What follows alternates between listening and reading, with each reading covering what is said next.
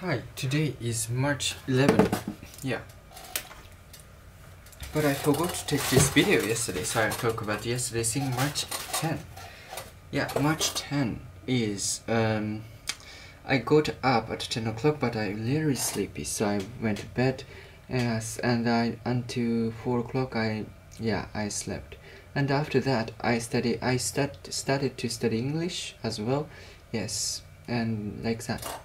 Thank you so much. And uh, yeah, I'm so tired recently.